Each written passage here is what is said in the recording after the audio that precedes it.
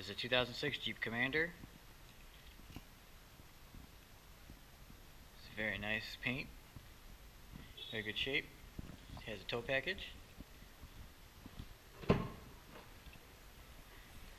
Plenty of space in the back.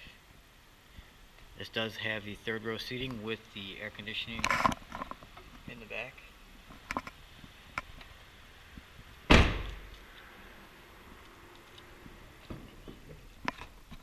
Plenty of space. Very nice interior. On all your controls on the door. Power seats. Very nice. Controls on your steering wheel.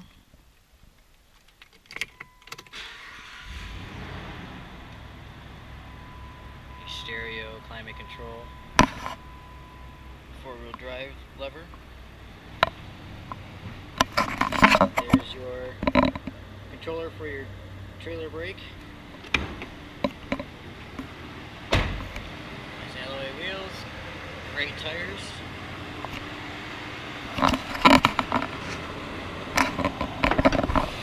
Well, here's your 4.7 liter V8. This one has the V8, not the V6.